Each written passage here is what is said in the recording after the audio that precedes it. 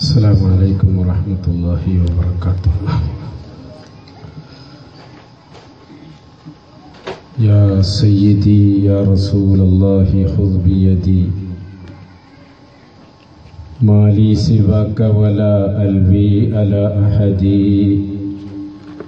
فأنت نور الهدى في كل كائنتي وأنت سر الندى يا خير معتمدي يا ربي بالمصطفى بلغ مقاصدنا واغفر لنا ما مضى يا واسع الكرم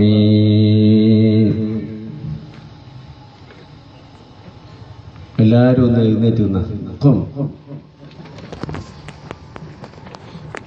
ജിലിസ് ആ കസേര ഒന്നും ഒഴിവില്ലാതെ വിധത്തിൽ ആ ബേക്കറിയിലുള്ളവരൊക്കെ ഇതിലോട്ട് വാ. എല്ലാരും. നമ്മളൊക്കെ സുജികളാണല്ലോ നേതാക്കന്മാര് പറഞ്ഞ നമ്മളെ നേതാവല്ലെങ്കിലും നേതാക്കന്മാര് പറഞ്ഞാൽ അതനുസരിക്കണം. ഒരൊറ്റ കസേര ഒഴിവിടാൻ പാടില്ല. നിസ്കാരത്തിന്റെ സഫിൽ പറഞ്ഞ പോലെ അവിടെ ചെയ്ത്താനിരിക്കും അതിനുള്ള ചാൻസ് കൊടുക്കണ്ട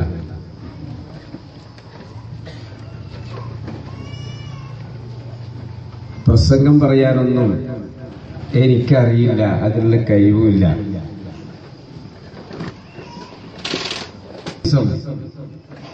വളരെ സന്തോഷത്തിന്റെ ഒരു ദിവസമായി ഒരു സുദിനമായാണ് ഞാൻ കാണുന്നത്. നിങ്ങളൊക്കെ അങ്ങനെ ആയിരിക്കുമെന്ന് ഞാൻ വിശ്വസിക്കുന്നു. ഈ ദിവസം ഒരു സാഘോഷത്തിന്റെ ദിവസമാകാൻ രണ്ട് കാരണങ്ങളാണ്. ഒന്ന്.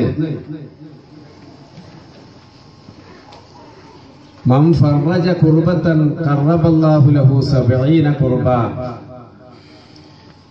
തന്റെ സഹോദരന്റെ ഒരു വിഷമം അള്ളാ ഒരാൾ മാറ്റിക്കൊടുത്താൽ ആ മാറ്റിക്കൊടുത്തവന്റെ എഴുപത് വിഷമങ്ങൾ മാറ്റിക്കൊടുക്കുമെന്ന് മുഹമ്മദ് റസൂലുല്ലാഹി മുഹമ്മദ് റസൂലുള്ളാഹി. വളരെ നേരത്തെ തന്നെ സാധാരണ ഞാൻ എന്റെ പരിപാടിയുടെ ടൈം ചോദിച്ച് ആ ടൈമിൽ തന്നെ പോയി പരിപാടിക്ക് എത്തും. എന്റെ പരിപാടി കഴിഞ്ഞാൽ പെട്ടെന്ന് ഒഴിവാകുന്ന ആളാണ് ഞാൻ. എല്ലാവർക്കും അറിയൂ. തങ്ങളുടെ ടൈം ടൈമാണ്. അതിന് മുമ്പ് ഇരിക്കൂല പിമ്പം വരൂല. എന്നാൽ ഇന്നത്തെ ദിവസം മുഴുവനും ഞാൻ ഈ ദിവസത്തിന് വേണ്ടി നമ്മുടെ സ്നേഹനിധിയായ അന്ധുവിന് വേണ്ടി ഞാൻ നീക്കി വെച്ചിരിക്കുക ഇനി ഇനി എന്ത് പരിപാടി ഉണ്ടെങ്കിലും ഞാൻ ഇന്നലെ പറഞ്ഞു നാളത്തെ വെള്ളിയാഴ്ചന്റെ പരിപാടി അന്ധുവിന്റെ ദിവസമാണ്. എന്തുകൊണ്ടെന്നാൽ നാം എല്ലാവരും മനസ്സിലാക്കേണ്ട വിഷയമാണ്. നമ്മുടെ റഫീഖ് സാദി ഉസ്താദ് സൂചിപ്പിച്ചുവല്ലോ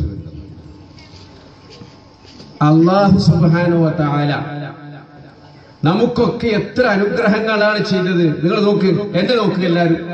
തങ്ങളെ നിങ്ങൾ കാണുന്നു. ഈ പച്ച സാൾ കാണുന്നു. എന്റെ ഈ നിറച്ച താടി കാണുന്നു. എന്റെ തലയിക്കെട്ട് കാണുന്നു. ഇവിടെ ഇരുന്ന നമ്മുടെ ഉസ്താദുമാരെ കാണുന്നു. ഇവിടെയുള്ള ഈ ബലൂണിന്റെ കളറുകൾ നിങ്ങൾ കാണുന്നു. ഒന്നിങ്ങോട്ട് ഖും എന്ന് പറയുമ്പോൾ നിങ്ങൾ എഴുന്നേറ്റ് നിൽക്കുന്നു. ഇജിലിസ് എന്ന് ഞാൻ പറഞ്ഞപ്പോൾ നിങ്ങൾ ഇരിക്കുന്നു. അൽഹംദുലില്ലാ എന്റെ പ്രിയപ്പെട്ട സഹോദര നാം മനസ്സിലാക്കി നോക്ക്. ഈ കാണുന്ന കണ്ണിന്റെ കാഴ്ച നഷ്ടപ്പെട്ട ഒരുത്തന്റെ അവസ്ഥ. കഴിഞ്ഞ സഖാഫിയ റാത്തീവിൽ വെച്ചിട്ട് നമ്മുടെ കൂളൂർ ഭാഗത്തുള്ള ഒരു പത്ത് ഇരുപത് വയസ്സുള്ള ചെറുപ്പക്കാരൻ വന്നു. കരഞ്ഞു പറഞ്ഞു. അദ്ദേഹത്തിന്റെ ഭാഷയിൽ കരഞ്ഞു പറഞ്ഞു. ഒരു പത്ത് വയസ്സ് വരെ പത്ത് പന്ത്രണ്ട് വയസ്സ് വരെ അദ്ദേഹത്തിന് കാഴ്ചയുള്ള ആളായിരുന്നു. പന്ത്രണ്ട് വയസ്സിന് ശേഷം പെട്ടെന്നൊരു പനി വന്ന് കാഴ്ച നഷ്ടപ്പെട്ടു. ആ കുട്ടി എന്റെ മുമ്പിൽ ഇന്ന് വിതുമ്പുകയാണ്. എന്റെ തങ്ങളുസ്താദ് ഈ ലോകത്തിന്റെ നിറം ഒന്ന് ഞാൻ കണ്ടിരുന്നുവെങ്കിൽ എന്നോട് സംസാരിക്കുന്ന തങ്ങളുടെ മുഖം ഞാൻ ദർശിച്ചിരുന്നുവെങ്കിൽ എന്നെ പത്ത് പന്ത്രണ്ട് വയസ്സ് വരെ പോറ്റി വളർത്തിയ എന്റെ ഉമ്മാന്റെ മുഖം ഞാൻ കണ്ടിരുന്നുവെങ്കിൽ ഞാൻ തങ്ങൾ ഉസ്താദിന്റെ അടുത്തേക്ക് വരുമ്പോൾ മറ്റൊരാളുടെ കൈ പിടിച്ച് ഇത് ഇവിടെ വാ ഇവിടെ വാ.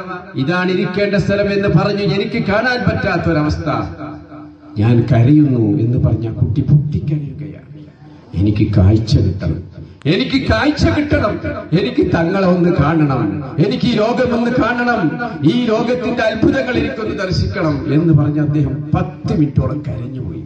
ഞാനും കരഞ്ഞുപോയി ആ കുട്ടിയെ കൂട്ടിക്കൊണ്ടുവന്ന മാതാപിതാക്കളും കരഞ്ഞുപോയി മോനോട് ഞാൻ പറഞ്ഞു മോനെ അള്ളാഹു കാണുന്നവനും കേൾക്കുന്നവനുമാണ്.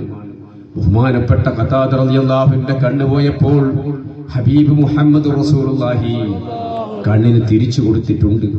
അതുകൊണ്ട് മോൻ കഥാതറിയാഹുവിന്റെ പേരിൽ ഒരു പതിനൊന്ന് ഫാത്യഹ്യം റസൂലുള്ളാഹിന്റെ പേരിൽ ഒരു നൂറ്റൊന്ന് ഫാത്യഹ്യം ഓതുക എന്ന് പറഞ്ഞ് ഞാൻ കണ്ണിക്കിടുന്ന ഒരു ഒരു മരുന്ന് മന്ത്രിച്ച് ആ കുട്ടിക്ക് ഞാൻ കൊടുത്തയച്ചിരിക്കുകയാണ് കയ്യറാത്തിയത് ഇന്നലെ ഫോൺ ചെയ്ത് ആ കുട്ടിന്റെ ഉമ്മ പറഞ്ഞു തങ്ങളെ തെല്ല് തെല്ല് ഒരടയാളം പോലെ എനിക്ക് കാണാൻ തുടങ്ങിയിട്ടുണ്ട്. അലഹമില്ല പൂർണമായ കാഴ്ച കുട്ടിക്ക് അള്ളാഹു കൊടുക്കുമാരാകട്ടെ അവരെ ഭാഷയിൽ പറഞ്ഞ തെല്ല് തെല്ല് തുടങ്ങി ഇനി മക്കീക്കിൽ പറയാണല്ലോ കുറേശ്ശ കാഴ്ചകൾ തുടങ്ങിയിട്ടുണ്ട് എന്ന്. ഞാൻ വിചാരിച്ചു ആ കുട്ടിന്റെ സന്തോഷം എന്റെ ജീവിതത്തിൽ ഞാൻ ഏറ്റവും ആഗ്രഹിക്കുന്നത്. ആ കുട്ടിന്റെ ഒരു സന്തോഷമാണ്. ആ കുട്ടി ജീവിച്ചിരിക്കുന്ന കാലത്തോളം ഈ സാധുവായ എന്നാ കുട്ടി ഒരിക്കലും മറക്കില്ല. അല്ലേ? നിങ്ങളെ മറക്കുവോ? മറക്കില്ല. കാരണം ആ കുട്ടിക്ക് ഒരു അംഗത്തിന് കാഴ്ചയുണ്ടായി. അത് അള്ളാഹുവാണ് കൊടുത്തത്. നിങ്ങൾ തങ്ങളെ കാരണം കൊണ്ടെന്ന് പറയുമല്ലോ. ഇതുപോലെ നമ്മുടെ പ്രിയ കൂട്ടുകാരനായ ഒരു സുഹൃത്തായ ഈ അന്ധു. ഈ അന്ധുവിന്റെ കഥ പറയുകയാണെങ്കിൽ തന്നെ കുറേ പറയാറുണ്ട്.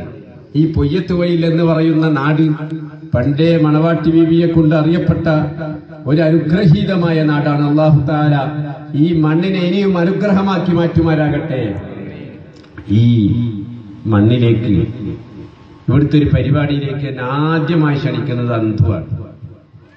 ഞാൻ അന്തുവെ അറിയില്ല.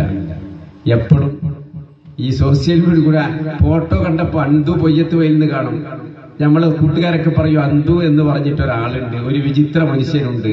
തങ്ങളൊന്ന് കാണണം എന്ന് പറഞ്ഞു ഞാൻ പറഞ്ഞു ഞാനിപ്പോ അങ്ങനെ ഒരാളെ കാണാൻ പോകുന്നുണ്ട് ഞാൻ ദ്വാരക്ക ഞാൻ കാണുന്നില്ല എന്ന് പറഞ്ഞു അത് ഞാൻ പറഞ്ഞ അങ്ങനെയാ. ഇവർ മമ്മദ് ഒക്കെ പറഞ്ഞിട്ടുണ്ട്. അപ്പൊ എന്നെ അവർ നിർബന്ധിച്ചു എന്തായാലും തങ്ങളൊന്ന് കാണണം എന്ന് പറഞ്ഞു ഏഹ് എന്നാ പോയി കാണാ. അപ്പൊ ഈ സ്ഥലത്താന്റെ ഒരു വീടുണ്ടായിരുന്നു അല്ലേ?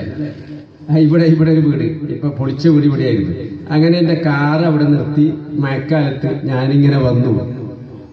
ഈ മനുഷ്യരങ്ങ് നോക്കിയപ്പോൾ ഒരു സുമുഖനായ സുന്ദരനായ ഒരാൾ ഇങ്ങനെ മലർന്ന് കിടക്കുന്നു. അന്ന് ഇന്ന് അത് താടി വെച്ചിട്ട് കാണുന്നു. ഇപ്പൊ അന്ന് താടിയൊന്നുമില്ല. ഈ മനുഷ്യൻ ഞാൻ ഇങ്ങനെ നോക്കി ഒരു രണ്ടു മൂന്ന് മിനിറ്റ് അന്തുവിന്റെ മുഖം നോക്കി. ഞാൻ ചോദിച്ചു എന്താ അന്തു വളരെ സുസ്മേരവതനായി നല്ല പുഞ്ചിരിയോട് കൂടിയാണ് അത് അന്തു എന്നോട് പറയുന്നത്.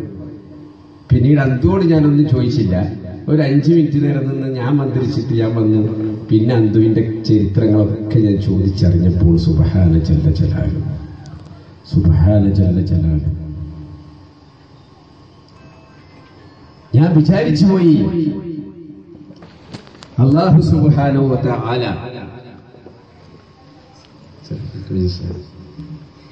അള്ളാഹു സുബാനോ നമുക്ക് ചെയ്ത അനുഗ്രഹത്തെ കുറിച്ച്